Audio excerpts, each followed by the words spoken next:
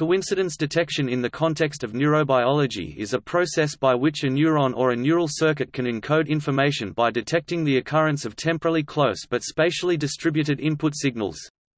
Coincidence detectors influence neuronal information processing by reducing temporal jitter, reducing spontaneous activity, and forming associations between separate neural events. This concept has led to a greater understanding of neural processes and the formation of computational maps in the brain.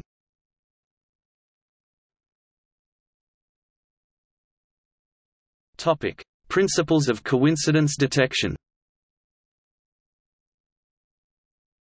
Coincidence detection relies on separate inputs converging on a common target.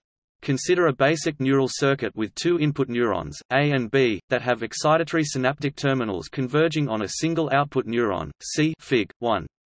If each input neuron's EPSP is subthreshold for an action potential at C, then C will not fire unless the two inputs from A and B are temporally close together. Synchronous arrival of these two inputs may push the membrane potential of a target neuron over the threshold required to create an action potential. If the two inputs arrive too far apart, the depolarization of the first input may have time to drop significantly, preventing the membrane potential of the target neuron from reaching the action potential threshold. This example incorporates the principles of spatial and temporal summation. Furthermore, coincidence detection can reduce the jitter formed by spontaneous activity.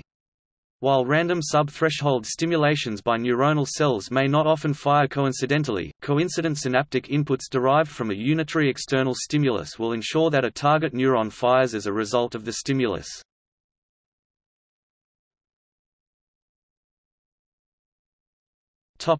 Distal coincidence detection The above description applies well to feed-forward inputs to neurons, which provide inputs from either sensory nerves or low-level regions in the brain. About 90% of interneural connections are, however, not feed-forward but predictive or modulatory, or attentional in nature. These connections receive inputs mainly from nearby cells in the same layer as the receiving cell, and also from distant connections which are fed through layer 1. The dendrites which receive these inputs are quite distant from the cell body, and therefore they exhibit different electrical and signal processing behavior compared with the proximal or feed-forward dendrites described above. In a short section perhaps 40 micrometers long of distal dendrite, the reaction to activations coming in on synapses to the dendritic spines acts to raise the overall local potential with each incoming signal.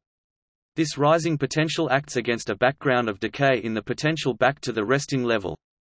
If sufficient signals are received within a short period of time i.e. before the overall voltage decays to background, the voltage of the segment will rise above a threshold, giving rise to a nonlinear dendritic spike, which travels, effectively undiminished, all the way to the cell body, and which causes it to become partially depolarized. This is perhaps the most important form of dendritic coincidence detection in the brain. The more easily understood proximal activation acts over much longer time periods, and is thus much less sensitive to the time factor in coincidence detection.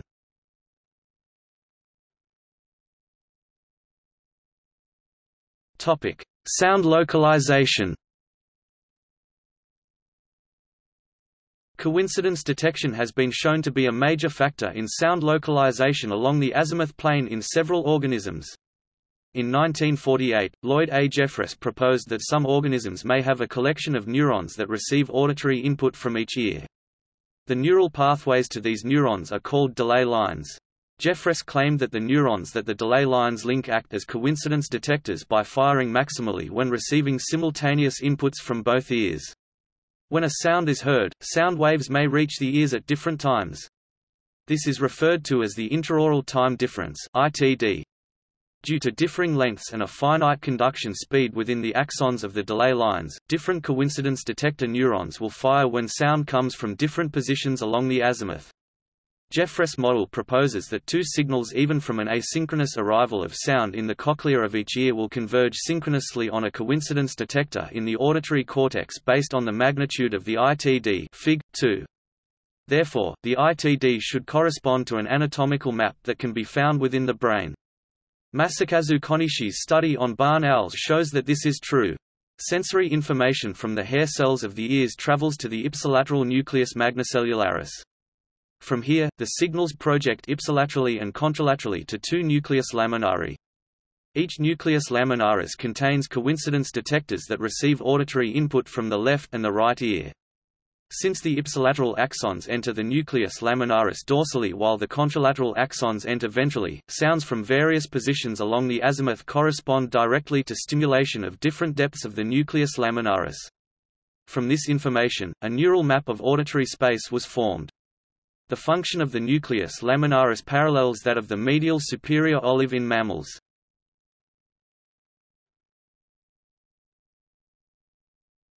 Topic: Synaptic plasticity and associativity.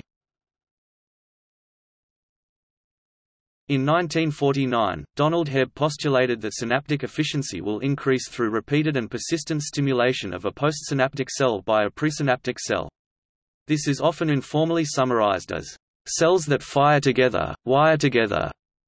The theory was validated in part by the discovery of long-term potentiation. Studies of LTP on multiple presynaptic cells stimulating a postsynaptic cell uncovered the property of associativity. A weak neuronal stimulation onto a pyramidal neuron may not induce long-term potentiation. However, this same stimulation paired with a simultaneous strong stimulation from another neuron will strengthen both synapses. This process suggests that two neuronal pathways converging on the same cell may both strengthen if stimulated coincidentally.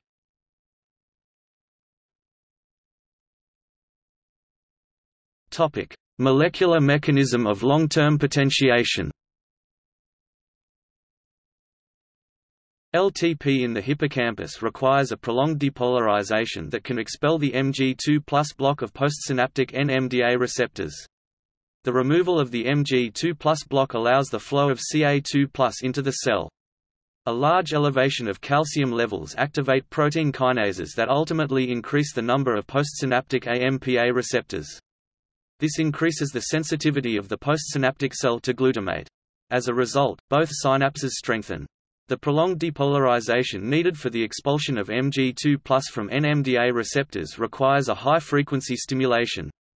Associativity becomes a factor because this can be achieved through two simultaneous inputs that may not be strong enough to activate LTP by themselves. Besides the NMDA receptor-based processes, further cellular mechanisms allow of the association between two different input signals converging on the same neuron, in a defined timeframe. Upon a simultaneous increase in the intracellular concentrations of CAMP and CA2+, a transcriptional coactivator called TORC1 CRTC1 becomes activated, that converts the temporal coincidence of the two second messengers into long-term changes such as LTP. This cellular mechanism, through calcium-dependent adenylate cyclase activation, might also account for the detection of the repetitive stimulation of a given synapse. Adenylyl cyclase also commonly known as adenyl cyclase and adenylate cyclase has been implicated in memory formation as a coincidence detector. Topic: Molecular mechanism of long-term depression Long-term depression also works through associative properties although it is not always the reverse process of LTP. LTD in the cerebellum requires a coincident stimulation of parallel fibers and climbing fibers. Glutamate released from the parallel fibers activates AMPA receptors which depolarize the postsynaptic cell. The parallel fibers also activate metabotropic glutamate receptors that release the second messengers IP3 and DAG. The climbing fibers stimulate a large increase in postsynaptic CA2 levels when activated. The CA2+, IP3, and DAG work together in a signal transduction pathway to internalize AMPA receptors and decrease the sensitivity of the postsynaptic cell to glutamate.